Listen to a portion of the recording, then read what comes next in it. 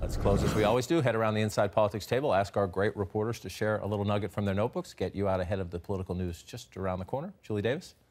Well, with all this talk of health care, uh, there hasn't been a whole lot of attention to the tax reform effort that's been underway now for months. Um, the White House is starting to kind of panic about the prospects of not getting this done this year.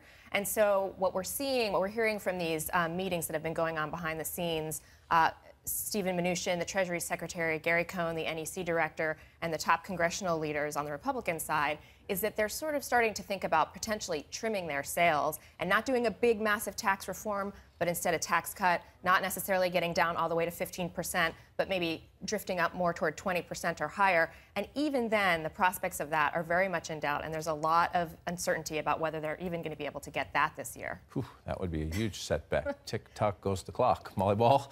A uh, bipartisan couple of senators, Dick Durbin and Lindsey Graham, reintroduced the DREAM Act this week. This, of course, is the uh, proposed legislation that would grant uh, a form of amnesty to young illegal immigrants uh, who've been in the country for a long time and meet certain requirements.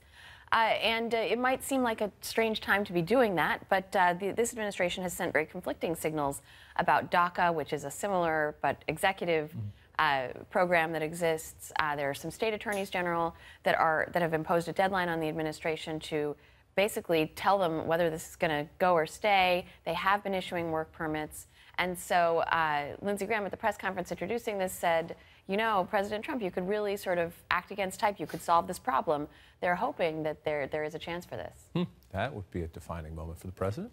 Michael? We talked about Anthony Scaramucci. Obviously, uh, one thing that um, looking forward we might see is, and, and this is, you know, always determined, depending on Donald Trump himself and his desires, but there could be an opportunity for a press reboot over some of the issues that the press corps has been arguing with the White House for uh, uh, access to the president, press conferences, on camera briefings. There's a new White House Correspondents Association president who's coming in as it happens at exactly the same time that we have a new uh, communications director and head of the communications shop. So, will the president allow there to be a kind of reboot on some of these issues? I guess we'll see. We will see.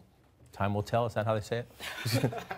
uh, the NAACP uh, meeting next week on starting Monday uh, in, in Baltimore and really kind of beginning the most important stretch of their uh, annual conference. The question there, how does this uh, very old, the oldest civil rights uh, organization in the country reboot and reimagine themselves in the Trump era, in the era of Black Lives Matter, matter and in the era of resistance? They invited Donald Trump. He said no, he, he wasn't going to come. The White House has said that they'd be happy to work with the organization and, and be in touch with the organization. Uh, who will be there? Eric Holder will be there. He'll be talking about gerrymandering, something that's very important uh, to, to, Democrats particularly. Uh, also, it's being looked at as something of a 2020 cattle call. Uh, also in attendance, Cory Booker, Kamala Harris, and Bernie Sanders. And Bernie Sanders, of course, uh, struggled a bit uh, with getting African American support when he ran last go round. So we'll see what those folks have to offer. Fun week ahead. Keep yep. an eye on that. I'll close with this. The past few days have caused a disturbing chill among a lot of people, from the worker bees to cabinet secretaries across the executive branch.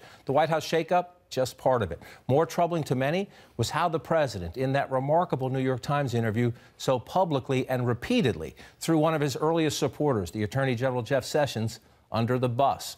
Among those who found that unprofessional, to say the least, Secretary of State Rex Tillerson, the former ExxonMobil CEO.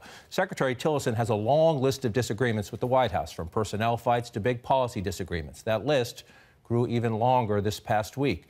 His friends outside Washington for some time have been saying that Tillerson talks of calling it quits around the holidays, so he can say he gave it a year. It could be just fresh venting, but keep an eye on Foggy Bottom. In the past day or two, there are rumblings Secretary Tillerson is actively debating a much earlier exit strategy. We'll keep an eye on that. That's it for Inside Politics again.